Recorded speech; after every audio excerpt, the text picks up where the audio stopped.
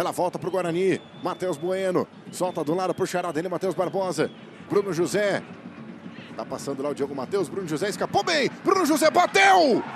Gol!